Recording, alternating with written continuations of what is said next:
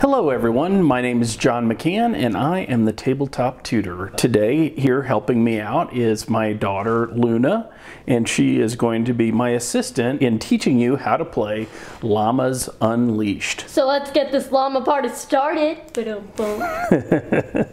All right, so Llamas Unleashed comes with the cards that you see here. There are all sorts of cards which we've shuffled up and uh, formed into a draw pile. We have the baby llamas. There's basically, you know, three different babies. How would you describe the baby llamas? Cute. I mean, the baby. There's They baby rams, alpacas, llamas, and Oh my- baby goats. They're so adorable.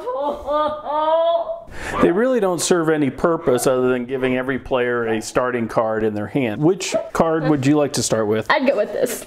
I'd go All right. with this. And I'll take the uh, rainbow baby llama. All right, and the rest of these can just kind of slide off the board. They really won't be used for the rest of the game. We each have a baby sitting in our fields. Cards have a little uh, symbol in the in the corner of the card. If this color coded symbol tells you kind of what sort of cards you have. The cards will have you'll have some basic animal cards with this purple symbol. You'll have some normal animal cards with this blue symbol. There's These aren't. These ain't normal. These are magical. all right. You have the green Yeah. like- uh, stars. Oh yeah. Yeah, you have the green stars that are magic. You have downgrade cards, which are the yellow down arrows, and the orange up arrows are upgrade cards. So this is just kind of a sampling of what's in your hand. This is a card that you know tells you what you do on your turn, words you need to know, types of cards, and on the back it explains the herd bonuses that can happen. If you have three or more animal cards of the same variety, then you can get some special bonuses. And if that ever comes up, we'll mention that in this video. And this is a game if you have any punny friends, but um bump, then this is a game definitely for them. It's kind of like a revenge thing. Like if something happens to you, you can like pay them back with another thing. You know what we call that in the gaming world? No. We call that a take that game Ah. because you you do something and then someone else would be like, "Oh yeah, we'll take that." Okay, so who's going to go first this game?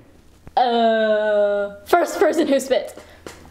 That is true. In the rule book, it says that the most person who spit most recently is the first player, and Luna has just earned that title. Okay. All right. You want to play a card? All right. So this is. Did you draw a card before you played the card? You the uh, turn order is you draw a card, you play a card. All right. So you've drawn now drawn your card. All right. So I'm going to draw a card, and now I am going to play a card. All right, so I'm going to play the Bahama Llama. The Bahama Llama. The Bahama Llama says, The Bahama Bahama Llama. when this card enters your field, you may discard a card. If you do, choose any player. That player must skip their next turn. It is pretty rude. All right, so I'm going to discard that card, and I'm going to pick on you, Luna. You take that. You have to skip your next turn. No. All right, so I'll take my next turn. I will draw a card. Now, you can always have the option whenever you draw a card, instead of taking an action, you can draw another card If you want to. If you want to. So I am going to play an instant card or a, um, a magic card, the Llama Bomb, destroy an animal card. So take that, I'm going to destroy your basic goat. Okay, good. Because if you destroy my baby, I will be mad. If, if you ever get to the end of your turn and you're holding more than seven cards in your hand, you have to discard down to seven cards. My turn. You played a llama bomb. What are you destroying? The Bahama Llama. Bye bye, Bahama So Llama. long. Okay, so I'm going to draw a card. I'm going to play a downgrade card on my opponent's field. This says, Luna, you cannot play any card with llama in its name. Rude. That is very. That is alpaca rude. yeah, But a bump. I shall play the magical alpaca alpaca. When this card enters your when this card enters your field, you may bring an alpaca card from your hand directly into your field.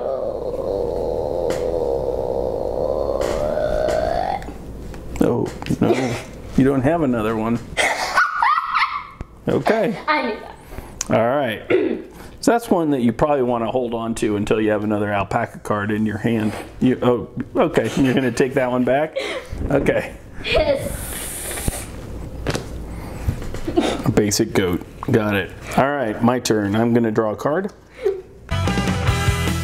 I'm gonna play a basic goat card.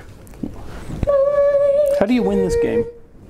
Uh, seven cards. Oh, and this is an instant card. You, ah, yes. Notice the red in the corner. That means that that's an instant card. They're usually like that's like the blocking cards of this game. So if someone plays a card that you don't like, you save the instant cards to block those cards. And I shall play the garbage buffet. Add the top card of the discard pile to your hand. If you have a good card in your field, you may play the top two cards instead. And you do have a goat card, so you get the top two cards from the discard pile into your hand.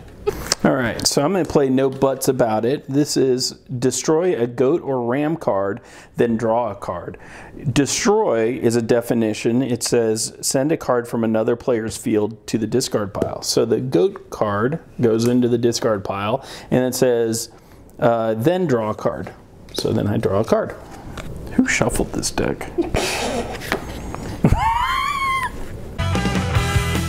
Uh, Stud Life. Stud Life is an upgrade card. It says if you have two animal cards of the same variation in your field at the beginning of your turn, you may bring a baby animal card of that variation from the nursery directly into your field. If you do, skip your action phase. Which is sus.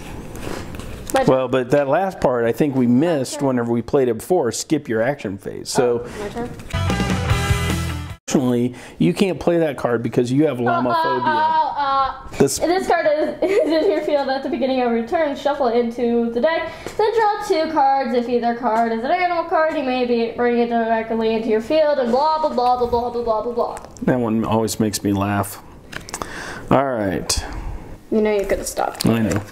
I'm going to give you a downgrade card, the Tranquilizer. You cannot play instant cards. we, we're going to have to record this again. No, we won't. We missed so many rules. I don't care. Come That's on. the entire point. No, it's not. The point is to teach people how to play the game. Energy drink. You must have a ram in your field to play this card. If this card enters your field at the beginning of your turn, you may play two cards during your action phase. Oh, we need to take care of this card because you have the spontaneously fainting goat. So the spontaneously fainting goat says If you I get another spontaneously fainting goat, that would be absolutely hilarious. Yeah. Remember last time when you did do that? Uh huh. That was so funny, but then I ended up getting rid of it because Yeah, you you I- went I- after I you take that and got rid of my spontaneously fainting goat. But the game is won oh, when uh, there was one card that was slipped over. I'm sure we'll find it when it comes up. Okay. There you go. Or either one of them a goat card. Hey, you found the negotiator. So that card comes out because of the spontaneously fainting goat. If this card is in the field at the beginning of your turn, you may move a card from your hand to any other player's hand. If you do, pull a card from that player's hand and add it to your hand. That's nice. Okay, and this is the the Ram Star is the one that gives you two actions, right? Yeah. Yee. All right, so it's my turn. Yee. All right, we're gonna play no buts about it. Ah, ah, ah. You are tranquilized. Oh. I mean, shoot. Negotiator is going away, and that allows me to draw a card. Okay, all right, it's your turn. Draw a card, and then you get to play two actions this turn. Llama Bomb, destroy an animal card. Destroying is from your opponent's field. Yep. All right, now you get to play your second action because of the Ram Star energy drink. I'm going to play a card. Each time any player plays a llama card, you may draw a card. It's now Can this, like, Pacalypse. Get rid of one of these two. No, it says it spec- specifies an animal card. Each But- player must sacrifice an animal card. So I have to sacrifice my baby llama, Not a sacrifice. Llamanati. Look at the top four cards of the deck. F- Well, first, because I played a llama card, I get a. This is a llama card, so I get to draw a card. And now I'm going to look at the four, top four cards of the deck. Um, return one card to the top of the deck, one to the bottom, and add the remaining to your hands. So I'm going to put one on the top of the draw pile. I'm going to put one on the bottom of the draw pile and add two to my hand. So the strategy there is put something on top that your opponent can't use, put something on bottom that you don't want to come up, and then keep the two best cards that were in there. I'm going to spit play Spitfire. Spitting fire, I can discard a card and then sacrifice or destroy a card. Any card. Discard a card. Discarding a card is send a pile from your hand to the discard pile. I know that. I'm And then sacrificing is sacrificing a card out of your tableau, and destroying is sacrificing a card out of or destroying a card in an opponent's tableau. So you get to. Are you, are you trying to get rid of llamaphobia? or tranquilizer. I, I'm, I'm thinking llama card. Well, first you have to discard a card out of your hand. Um, I should get this. Okay. Hey, look, that's the one I'd left in there from my Illuminati. Well, you have so many llama cards in your hand. You're probably, you know, you probably have to get rid of that one. But you also have some some I, I, instant cards. I don't need no instant cards to win. Okay. Hold on, sucker. when this card enters your field, you may bring a llama card from your hand directly into your field. And I have a llama card, as it so happens. And this says, if your card is in your field at the beginning of your turn, you may search this deck for an upgrade card and add it to your hand. If you do, skip your draw phase and shuffle the deck. All right. So I'm going to play the magical goat Goaticorn. When this card enters your field, you may bring a goat card from your hand. And my goat card is the spontaneously fainting goat. My turn. Okay, so first things first, because you have two llamas in your field at the start of your turn, you can you may bring a baby animal card uh, directly of a, an, of a llama into your field. If you do, you would skip your action phase. But I have an extra. But I skip my entire action phase, or just one. You may play two cards during your action phase. I think you would skip. No, it it says you would skip your action phase, so you would skip playing two cards during your action phase. Okay, uh, So, so do you want to do that, or do you want to move move on to the next card that we have to assess? I shall do this. You want to do that? All right. Okay. So now I have four. yep. So now hold on. Three more. So now you have three llamas in your field. That means that you may draw an extra card every uh, in the draw phase. And Right. plus that. Ding, ding, ding. Yeah. So so you took care of stud life, you took care of that. Now we need to take care of llama bot. Llama bot says at the beginning of your turn you can now search for an upgrade card. And the upgrade cards have the there it is. Have the yellow uppers. This is the part of the game that I don't enjoy, which is how many times you have to sift through the deck, find cards. And it would have been awesome if they had put these indicate these in, indicators on both corners, so that you would have just had to do this once. So we're finding all of the upgrade cards. So now you can look. Do you know which upgrade card you're looking for? no. All right. Well, it's one of those. Okay. Um, walking trash compactor. Careful I bite, llama pinata, embrace diversity, and no problema. I go this one. Yeah. Yep. I like that one for you as well. All right, so I'm going to randomly stick these back into the deck. I'm just making random puns. Return it to the deck. Shuffle it. Man, I should have done that while I was shuffling the deck a minute ago. All right. Returning him to the deck. Give that a quick shuffle. Draw two cards. look at them. Normally we wouldn't show. Oh wow, they're both goat cards, so they both go back into my. No, those are ram cards, not goat. Was it if they're goat cards or if they're animal cards? It's a goat. Yeah. I thought it was if they were animal cards. no, I have a feeling it was it, hmm. ram or goat or whatever. Maybe we should have read it all the way through before I shuffled him back in. Yeah. if either is an animal card, Oh, I could have sworn as if any one of them was a goat card. I mean, that would make the most sense. it would make more sense, but unfortunately, that's how the rules played out for that card. All right, so I got those two basic rams into my card. Now it's my turn, so I'm gonna draw a card.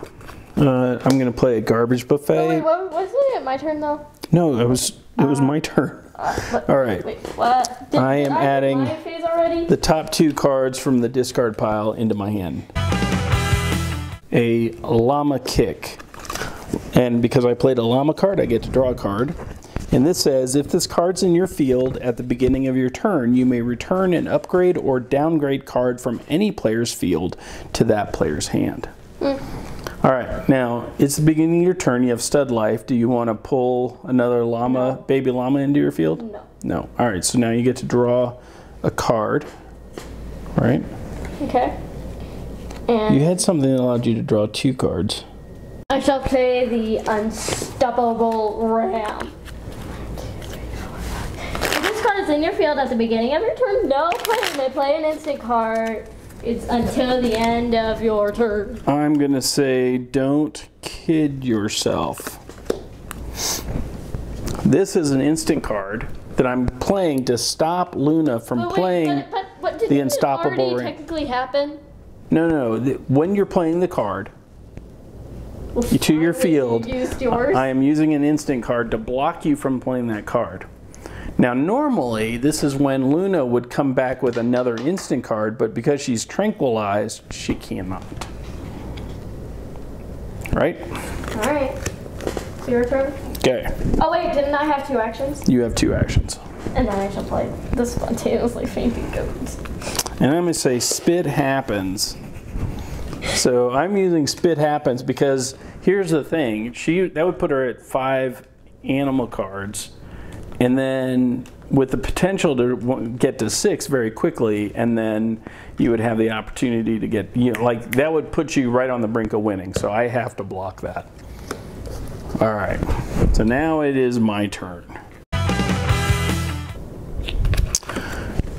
Goats Ferrat 2.